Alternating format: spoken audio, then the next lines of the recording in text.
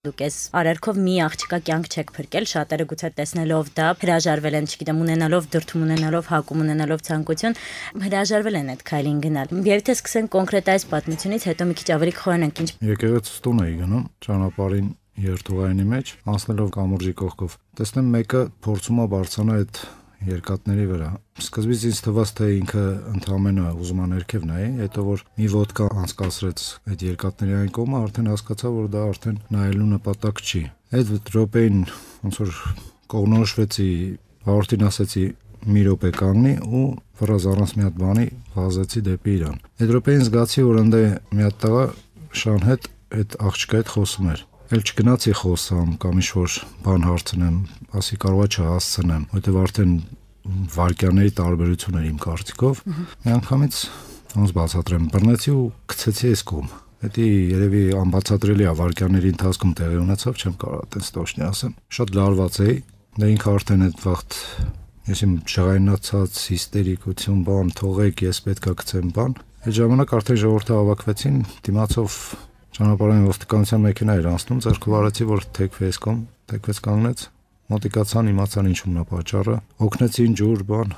զանգեցին ոստիկանություն եկավ, այդ ընթացքում այդ աղջիկը էլի ագրեսիվ վիճակում էր։ Դա ես էլ էի արդեն ագրեսիվ վիճակում, ոնց որ արդեն լարված էի։ Համիրան էի հանգստացնում, ջղայնանում էի վրան, որ խելոք մնա չի կարելի ջայել աղջիկես։ Ամեն ինստինկտիվ ոնց որ ես էլ վախից հետո արդեն ագրեսիվացել էի, լարվել էի Իսկ այդ բռնելու պահին վախ չկար ձեզ մեջ, չգիտեմ։ Ընդհանրապես չէի վախում։ Երևի դրանից հետո շատ վախեցա, բայց այդ ժամանակ ոչ մի բանի մասին չէի մտածում, ընդհանրապես մտածում էի ոնց անեմ։ Կողնորոշում էլ երևի այդ րոպեին եթե կողնորոշվեի կամ մտածեի, կարողա չանեի։ Ռիսկի մի անգամից այդ քայլին գնացի։ Կարող չհասցնեի քել զուտ։ Նույնիսկ կարողա չհասցնեի, նույնիսկ կարողա հասցնեի, բռնեի ինքն էլ ինձ տաներ հետը, կարողա նույնիսկ բռնեի կամ չհասցնեի, բռնեի ընկներ հետո ես պատասխան տայի թե խի կարող է ինքը չէր լինի տենց բան եթե ես ընդը չլինեի բայց այդ րոպեին մարդ չի կողնոշում երևի երևի ենթագիծակցաբար այդ քայլին գնացի բայց բարգաստո լավ ավարտվեց իսկ մասիկ ոստիկանություն գնացիք ճանապարհին չփորձեցիք ճշտել պատճառների մասին ճշտեցի դե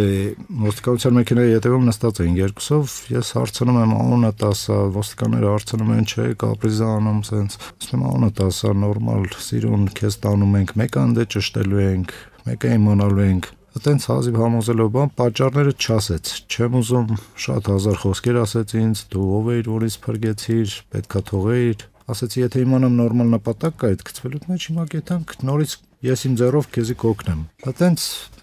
դե ճանապարհին մենակ անուն ազգանուն այրանուն ասեց։ Երկու հասցե բանը այտենց ընդհանուր բայց ոչի ոչի բան չասեց, ընդհանուր ոչի բան չասեց, թե ինչի համար էր։ Հետո արդեն որ ասանք ոստիկանություն, ընդ իրան տարան քննչ քննելու կամ տենց սենյակ ես մտա ինձ ընդհանրապես ասացին անուն ազգանուն գրեցին, ասին եթե պետք լինեք, հետո տեղա կպայեք։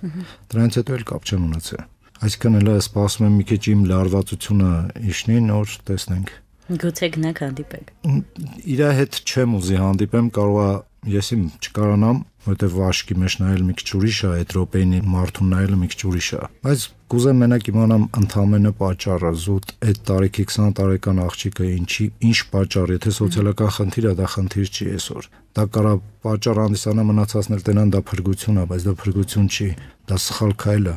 Չի կարելի մարդ մտածի, որ իր այդ քայլով ծնող քույր, եղբայր, հարազատներ բոլորին դժբախտացնում է, դա փրկություն չի, ընդհանրապես դա կարամ ասեմ։ Եթե ամփոփենք ինչի որոշեցին կանադառնալ այս թեմային, վիճակագրություն փոքրիկ նայեցինք ընդհանրապես 5 օրով։ 5 օրվա մեջ արդեն 5-րդ դեպքն է ինքնասպանության, որոնցից մեկը փարկասցան հաջող ձեր շնորհիվ։ Ձեր կարծիքով, գիտենք որ դուք նաև մասնագիտության բժիշկ եք, ինչքան գիտեմ ռազմական բժիշկ անգամ։ Դուք տեսել եք դեպքեր, երբ մարդիկ վիրավորվում են շատ այլ պատճառների, տեսել եք մահեր, որոնք մարդուց կախված չեն, որպես բժիշկ գուցե։ Ձեր կարծիքով ինչի է հայազգը սկսել փնտրել իր այդ փրկությունը տենց հեշտ ճանապարհով մտածել, որ դա իրականում փրկություն է, եթե դա իհարկե փրկություն չէ։ Ուրեմն եթե աշխատանքի մեջ նայենք, աշխատանքի մեջ լինում են շատ ավելի ծանր դեպքեր, որոնք իրանց այդ մարդիկ իրանց մեջ կամքի ուժ են գտնում ապրելու, թեկուզ մոտ չունի, ձեռք չունի եւ նման նման ծանր դեպքեր, որոնք կամքի ուժ են գտնում։ Այսօր մեր հայազգը թուլացել է, թուլացել է, ինքը կամքի ուժ չունի որ նման քայլերի է այդում ես տենց եմ վերագրում նորմալ մարդը եւ կամքի ուժ ունի նման բան չի անի նախ առաջինը երկրորդը չեմ կարծում որ դրանով հարց կլուծվի ավելի շատ դժբախտացնում ես եւ քեզ եւ ընտանիքիդ եւ բոլորին եւ ցավես պատճառում նույնիսկ յուրաքանչյուր նորմալ մտածող մարդին կապ չունի դու հարազատ ես թե ոչ Դա շանս չի, դա ճիշտ չի։ Ես նման բաներ տենում եմ ավելի ծանր դեպքեր, որոնք կարում են իրանց մեջ ուժ գտնեն։ Իսկ եթե հենց այդ ձեր դեպքերին անդրադառնանք, գիտենք, որ էլի ռազմական բժիշկեք ինչ որ դեպք կարող է հիշեք, որ մարդը ամենա ձեզ մեջ տպավորված դեպքը, որ մարդը կամքի ուժը գտել է եւ շարունակել է ապրել։ Յուրաքանչյուր հիվանդ կլինի ռազմական, կլինի զինվորական, կլինի քաղաքացիական, երբ ոդքի ականգնում, դա իր կամքի ուժնի շնորհիվ է։ Մարդիկ կան, որոնք չեմ ուզում կրկնեմ, բայց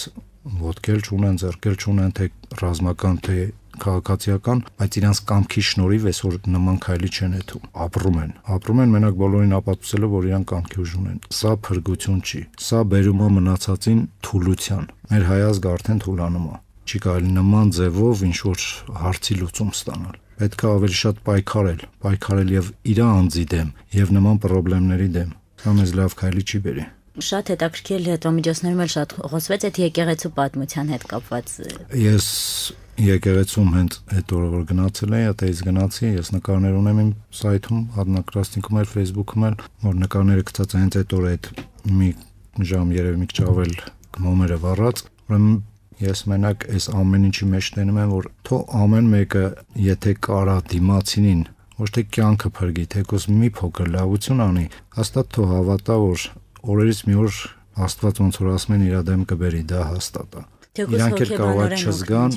հոգեբանորեն շատ է օգնում։ Ես ասեմ, ես կարողա իմ մեջ գտնում եմ, ես ինչ մեծ գործ չեմ արել, չնայած որ մարդիկ համարում են, որ դա մեծ գործ է, բայց ես իմ մեջ հոգեբանորեն շատ հանգիստ եմ, որ այսօր փրկվավ մի հատ օջախի լույս չմարեց, փրկվավ մի հատ աղջիկ, ջայլ երեխա, որ վաղը կարա մայր դառնա ու նման նման երջանիկ ընտանիք ունենա, որ ես մի օր կարող եմ տեսնեմ էլ այդ մարդուն ու հպարտանամ, այդ ժամանակ կհպարտանամ, որ ես իրոք լավ քայլ եմ արել։ Որքանով հասկացա, ընկերին, ընդհանրապես, եթե ձեզ հարց ուղեմ, դուք կին եք, աղջիկով փորձում եք ինքնասպանել, եւս աղջիկ էր 20 տարեկան։ Չգիտեմ, գուցե դուք կարողանաք ինչ որ կերպ հոգեբանորեն ձեր կարծիքով իրոք կա ինչ որ պատճառ, ընդհանրապես ինչ են, ասենք, տեսեք խոսեցինք, որ տղամարդը էլի կարող է ունենալ ինչ որ շատ լուրջ խնդիրներ, լուրջ պատճառներ, բայց որ աղջիկը 20 տարեկան հասակում այն էլ ունենա, գուցե զգացմունքայինությունն այլ դուք դուք ինչպես եք դա զգում։ Ես մի քիչ այդ քայլերը չեմ ընդունում, քանի որ իմ համար այդ քայլանողը ինքը կամքից թույլ մարդ է։ Այս կյանքում կարելի է հաղթահարել ցանկացած դժվարություն եւ չի կարելի թեկուզ սոցիալական վատ պայմաններից ելներով իրեն մոստից ցած գցել ինչա ինչա ասենք եղբայրը կամ մայրը չեն հասցնում ընտանիքը պահել ընդամենը կարելի էր աշխատել այսօր ցանկացած աշխատանք հա մատուցողուհին է շատ պահանջարկ կա կարելի էր աշխատել եւ ինչ որ բանով օգնել դա թուլություն է իր այդ քայլով ոչ մորը կօգներ ավելի շատ ոչ եղբորը մորը ավելի վիշտ կպաճառեր չէ որ մայրը արդեն տեղից ամուսնալուծված ընտանիք իր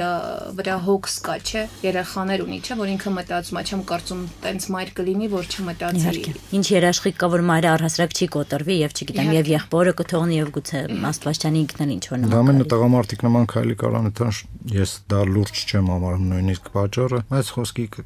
ասում են մեծերը, պարտքեր կամ եսի միջեր, եսի միջեր, դա էլ թուլակաս տղամարդը կարան, այսօր ամեն տարբերակում ելք կա։ Ես այդ նույն աղջկան շատ սիրուն հենց մեքենայի մեջ ասացի, եթե ես իմ կյանքս քեզ պատմեմ, դու երևի այդ մոստից 3 անգամ քեզ կգցես, կելնես էլի կգցես։ Ասի դու մի քեզ թույլ բայ։ Մի քիչ ուղեղ ունեցի, ձիգ մնա, ողնաշար ունեցի։ Իսկ եթե մի փոքր ձեր կենսագրությանը կյանքին անդրադառնանք, ոչ շատ անձնական պահերին իհարկե, քիչ պատմեք ինչպես եղավ, որ սկսեցիք զբաղվել բժշկությամբ, աշխատել։ Ես սովորեցի ուսումնարանում, գնացի ծառայության հենց բժշկության մասնագիտական, ֆերշեր, այտենց մնացի, միջև օրս արդեն 15-16 տարի է բնակավարում եմ։ Շատ գոհ եմ իմ աշխատանքից, գոհ եմ, որովհետև նման դեպքեր ոչ թե փրկելու, այլ օգնելու դեպքերը երևի դարել արդեն նորմալ մարդկային։ Ես սիրում եմ մարդկային վերաբերմունքը, ես սիրում եմ տալ մարդկայինը, ստանալ մարդկայինը։ Յուրաքանչյուր հայի պարտքն է, ինձ թվում է կատարել մարդկային, մենք այսօր քիչ ենք բայց մեկս մեկով պետքա